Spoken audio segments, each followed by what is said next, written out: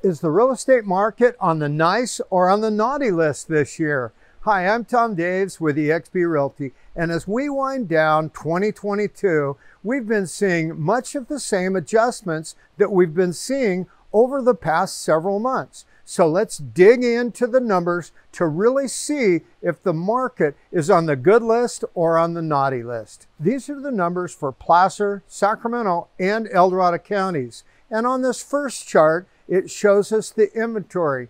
And as you can see in light green, we saw a pretty sizable decline in homes for sale from 3,553 homes for sale in October down to 3,026 homes for sale in November, which is a 14% drop. This is likely to the time of year, of course, and the homeowners not wanting to make a move during the holiday season. And in the dark green, we see the homes that sold and closed. We saw a slight decline from October 1423 to 1182 in November. Again, this mostly has to do with the time of year. However, interest rates and rising costs due to inflation have buyers sitting tight, hoping that rates decline in the new year. In the red is pending sales, which we saw a very slight decrease from October 1334 pending homes to 1234 in November, which again, is seasonal and likely related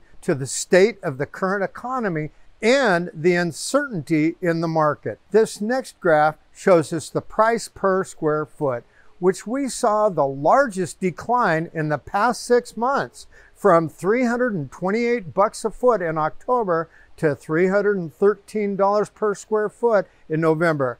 This is to be expected as values have been decelerating and even declining in most areas over the past few months. On this next graph, we have the list to sold ratio, which lowered 1% from October's 95% to 94% in November. And now down below in the orange, we see that the average days on the market has increased another three days from October to November, taking homes on average 42 days to sell, which gets us back to pre-pandemic numbers. And on this last chart, we see months worth of inventory. This chart shows us how long it would take to sell the existing inventory, which has increased from October's two and a half months to 2.6 in November. In looking at this chart, many might think that the market has already shifted. But remember, Zero to three months of inventory is a seller's market. Four to five months is a neutral market. And anything over five months is a buyer's market. So you can still see that we're in a seller's market. So what does this mean if you're a buyer? Well, don't listen to the shock value headlines. You still have a lot of options available. Sellers are more willing to negotiate and you don't have to feel rushed when shopping for a home interest rates are bouncing between the 6 and the 7% range, but when looked at the historical context, it's still a great time to purchase. And what does this mean if you're a seller?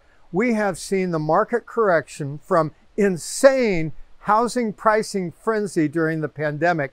But again, in looking at historical data, the market is healthy and there is still a solid buyer's demand looking to buy. However, now more than ever, it's critical to speak with an experienced agent that can help you navigate through this rapidly changing market.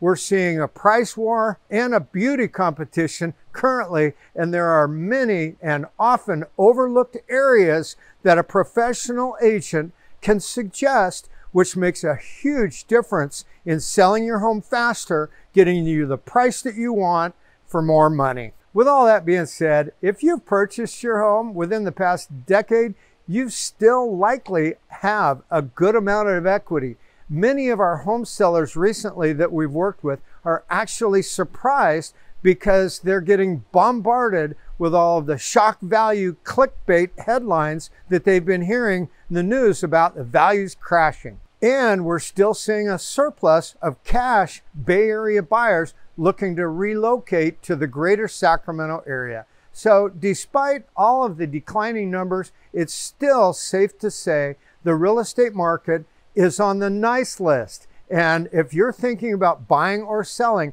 feel free to give us a call. We've helped over 7,000 families for over 35 years in the greater Sacramento area, and I would love the opportunity to assist you with your real estate goals. Give us a call at 855 Tom Daves or go to tomdaves.com. Thanks and Merry Christmas.